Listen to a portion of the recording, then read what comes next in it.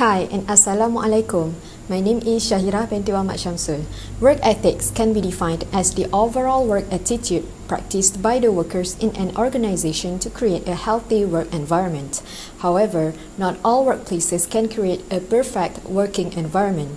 Today, we will look into the positive and negative critical incidents that could happen in a workplace based on a 2020 film, I Care a Lot.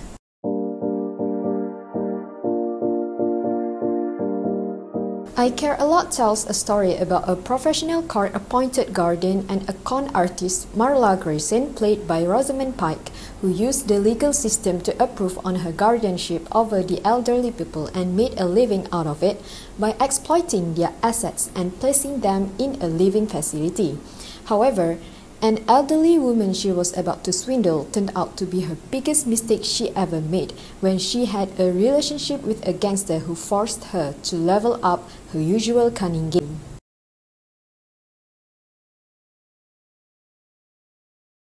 And now she has auctioned off my mother's house, her car, her personal belongings, and she, she uses the proceeds to pay herself. Miss Grayson doesn't care about my mother at all. Excuse me, Your Honor, may I speak? Go ahead, Miss Grayson. Mr. Feldstrom, sir, I sympathize. But the court doesn't appoint me for no reason. I just do what is right for your mother. So yes, I manage your mother's money because someone has to. And I have to pay for her care in the facility. So yes, I oversaw the sale of some of her assets to finance that. And yes, I pay myself too. Because caring, sir, is my job. It's my profession. This is what I do. All day, every day, I care. I care for those who are in need of protection. The first positive issue tells about the accusation made by Mr. Feldstrom to Marla about her dishonesty in handling his mother's properties and claimed that Marla misused her power for her own good. To defend herself, Marla convinced the judge by saying that she cared for all her wards. Based on the scene, we can see that Marla politely asked the permission from the judge to allow her to speak. This is because she has common sense in showing respect to prestigious person and empathize the situation which occurred in court. This allowed her to show positive attitude. In court, we are encouraged to talk professionally. Here, Marla showed a good example on how to address the judge and use appropriate tone and language to talk to the judge. Through this attitude, a positive working environment can be created. When we are being polite and respectful, others can emulate, thus able to build and strengthen up a good relationship among the workers. For the recommendation, we must be respectful and polite no matter what their status and positions are in an organization. The improvement that can be implemented through this scene is respecting others' thoughts and feelings so that the relationship with others are always in a good condition. When we respect others, others will respect us back. Jennifer Peterson. She's in reasonably good health, but she has no kids, no husband, no living family. No family at all. Can I get a copy of all this? You bet. All except her test results. That wouldn't be ethical course. The second positive issue is protecting the patient's personal data. In this scene, Dr. Karen, played by Alicia Witt, informed Marla about her new possible ward, Jennifer Peterson, played by Dianne Wiest, who is also her patient. Even though Karen handed over Jennifer's profile to Marla, she tried to not expose her medical test result because she said that it would not be ethical. The factor that led to this action is the protection of medical information by federal laws which cannot be exposed to the outsiders or third person without the patient's consent. As a responsible doctor, Karen was being ethical by protecting her patient's personal information. Her motivation of her profession drove her to do the correct thing and still had the awareness about the possible consequences if she exposed the patient's personal data. As for the effect, this action enables to protect the personal information from being invaded and further violation like stealing identity and selling personal data in black market can be avoided. As a contractor or a working person, the client's personal data should be protected as good as possible from being exposed and violated by the third person. The improvement can be done by not tolerating with any outsiders who seek for the personal data and be extra careful when sharing any information to non-job related person. Jennifer needs to be released from your care ASAP. Now, why the f would I do that? One, it is the right thing to do, but I doubt that means anything to you. And two, because she has very powerful friends who can make life uncomfortable for you, extremely unpleasant and uncomfortable. Is that a threat? How uncomfortable are we talking? Let's just say you'll not be comfortable or uncomfortable ever again. Because I'll be dead? Well, I, I didn't say that. Who do you work for? Jennifer Peters. Liar. And that's not you. You're a shark, which intrigues me. And I want to know who hired you. Release her from your care. No, Dean. I don't think I will. It's $150,000 in cash. I have a legal duty. Jennifer Peterson is in need of my protection. How can I just abandon her? Are you saying no? I'm saying no. I'm saying no. Thank you. The last positive critical incident is patience in handling a critical situation. After being threatened by the mafia lawyer, Dean Erickson, portrayed by Chris Messina to release Jennifer from her care, Marla calmly handled the situation and rejected his money with a smile and without losing her temper. The factor that led to this action is a deep awareness about the effect of unmanageable emotions and the urge to solve the situation professionally without making it worse. In this scene, we can see that Marla could handle her emotion without adding fuel to the fire. By being patient in handling any critical situation in the workplace, any possible negative consequences can be avoided and problems can be solved more easily and quickly. Critical situation in a workplace should be handled with professional attitude. It is not all about being patient, but also stay positive and smart in finding an appropriate alternative to solve it. Any disagreement can be solved by having further discussion among the workers so that a better understanding between two sides can be achieved. Hi, I am Fatin Almira and I will explain about three negative aspects in workplace that I found in this movie. I'm happy for you to keep milking these poor, vulnerable people for as long as you damn well please. Hell, if your whole enterprise isn't the perfect example of the American dream, I don't know what is but not Jennifer Peterson. She's off limits. And I get it. I understand why you targeted her. I just responded to a call from a doctor. Right, sure. Let's stick with that. But her doctor is mistaken. Understand? He. Sorry, she fucked up. Jennifer needs to be released from your care ASAP, and you need to get that she doctor to write another letter saying Jennifer has made a full recovery and no longer needs to be in the care of a guardian.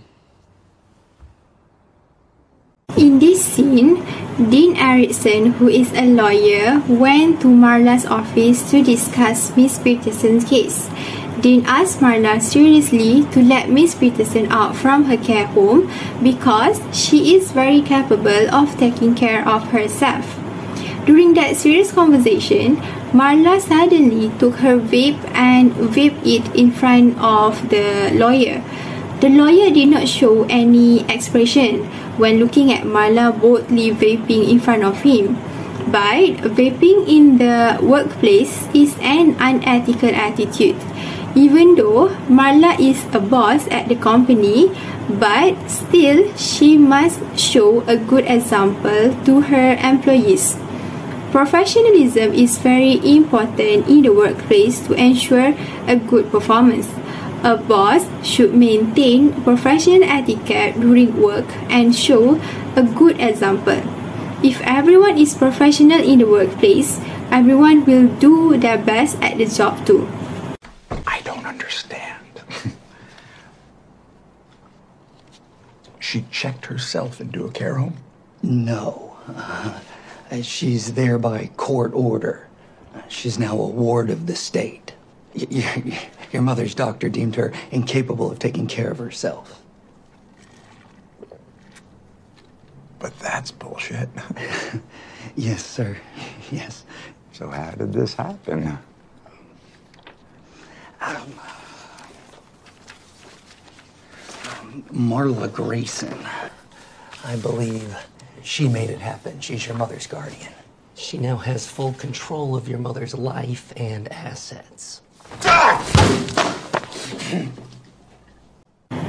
In this scene, Alexei, who is the employee, gives a report to his boss named Roman in the office. Alexei reported to his boss that he still cannot find Roman's mother yet, and he found out that Roman's mother is currently living in Marla's care home. Roman was curious why that happened to his mother when she is still healthy and can take care of her own. Roman got furious after finding out that Marla Grayson now has become his mother's legal guardian.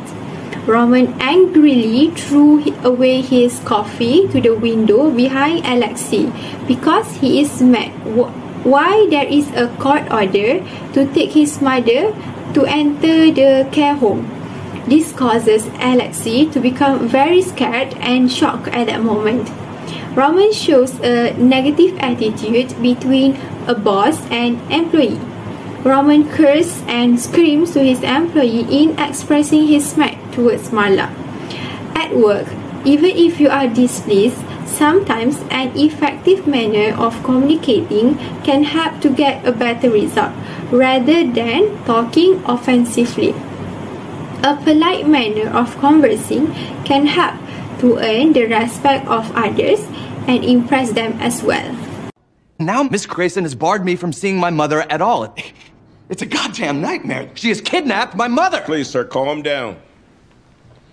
Marla Grayson is a well respected professional guardian and has been appointed by this court by me to look after the best interests of your mother now that she cannot look after herself. How is it in my mother's best interest to have her son barred from seeing her? Miss Grayson doesn't care about my mother at all. Excuse me, Your Honor, may I speak? Go ahead, Miss Grayson. Mr. Feldstrom, sir, I sympathize. But the court doesn't appoint me for no reason. Your mother couldn't cope on her own. That is not true. A doctor diagnosed her with dementia, Mr. Feldstrom, and wrote an affidavit recommending immediate. In this scene, Marla Grayson and uh, Mr. Feldstrom were argued in court. Mr. Feldstrom stands for his right to take care of his mother. Meanwhile, Marla Grayson, that was appointed as the current guardian of Mr. Feldstrom's mother, fought for her caring action in putting Mr. Feldstrom's mother in her care home. But Mr. Feldstrom said that his mother was forced to enter the care home and claimed that all his mother's belongings that has been has been auctioned by Marla. Then the judge said that he knows Marla is a well-respected professional guardian and he himself appointed Marla in the proceeding. The judge in this scene shows a biased attitude in conducting this case. This is because the judge said that he knows Marla very well and has no doubt of her during judging the case. Thus, Mr. Feldstrom lost in this case to bring out his mother from Marla's care home. Honesty is always important in communication, especially in judicial. Judges are supposed to be impartial, as they promise in their oath. The judge that is lack honesty and bias during judging a case will tend to make an unfair decision. Therefore, justice is nowhere to be seen in the court if the judge is biased against, against a particular party. As a professional person, the judge should communicate honestly when judging a case. Judges should disclose any matters that may create any appearance of bias so that justice can be seen. To conclude how well communication impacts a number of factors of company health, including customer relations and employee productivity. This movie shows both aspects of communication, either positive or negative aspect. Thus, this movie is recommended for those that want to see a few examples of communication issues in workplace. Thank you.